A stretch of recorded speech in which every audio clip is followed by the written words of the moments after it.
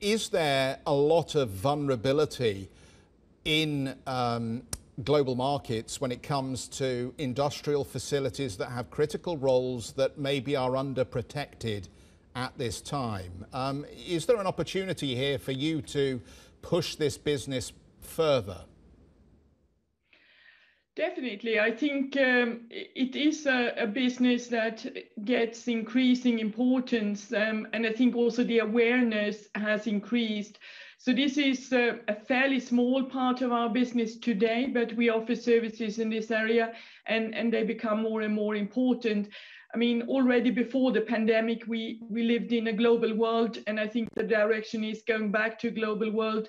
And cybersecurity is, of course, then in a global operating company, also uh, an important topic. So, without doubts, yes.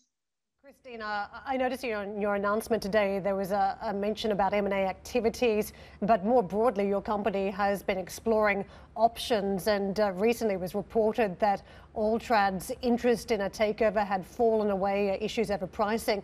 Where are you at with discussions with potential partners? Well, obviously the target for us in the executive board and for our people is to make Bilfinger better and uh, more successful company. We are not uh, we are not giving any remarks to speculations or rumors, but uh, given where we are right now, um, I think uh, definitely is ready to make one or another um, acquisition that would support our strategy going forward.